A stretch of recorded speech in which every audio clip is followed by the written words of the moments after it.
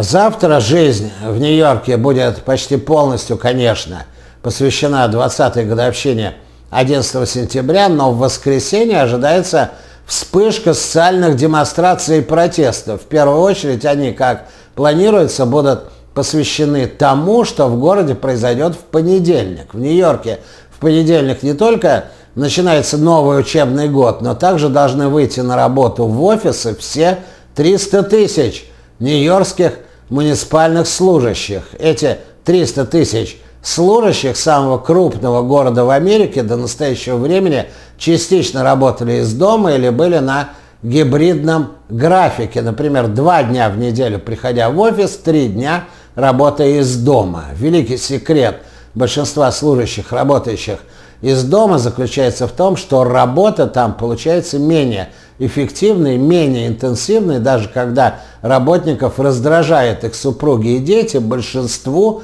работа из дома нравится больше.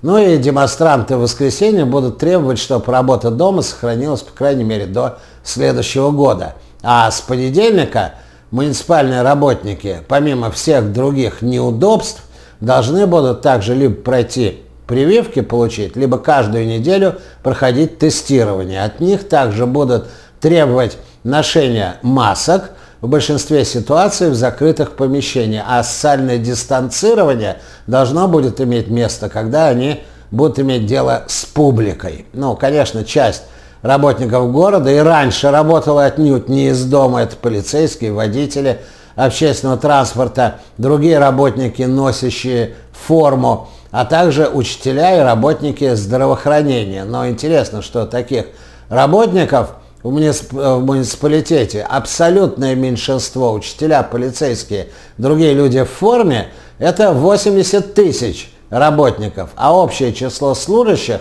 муниципалитета 300 тысяч. В Нью-Йорке действует местное требование, согласно которому учителя и работники медицины должны пройти прививки без возможности альтернативного тестирования. Интересно, что из многочисленных положений новой политики по поводу вируса а быстрее всего реализовали положение о штрафах на общественном транспорте. Новые штрафы стали действовать уже с сегодняшнего дня, касаются они тех, кто отказывается одевать маски в самолетах, в метро, в автобусах. При этом были случаи, когда ребенок почти грудного возраста у которого имелись проблемы с дыханием, маску срывало, а его родители вносили за это в список нарушителей и выписывали им штрафы.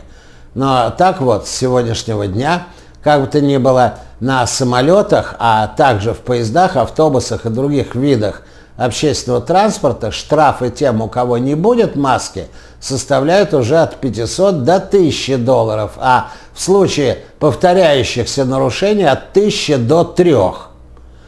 На этом наша передача подошла к концу. Я прощаюсь с вами до понедельника. До свидания.